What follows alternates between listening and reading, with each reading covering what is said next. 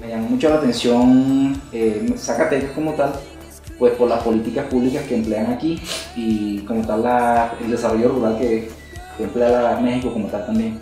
Ustedes van a empezar a convivir en su vida cotidiana, van a empezar a, ver el funcionamiento de la, de la universidad. La característica que tiene la, la Universidad de Zacatecas, pues de entrada es una universidad pública.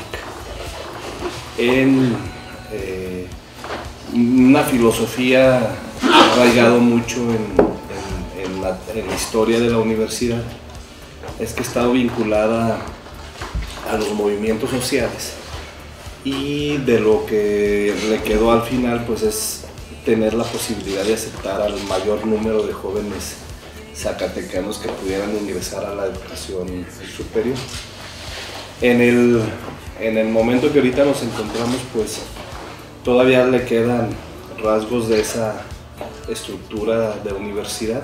Pues en realidad los programas que eligieron, este, como toda institución pública, van a tener profesores excelentes, muy buenos profesores.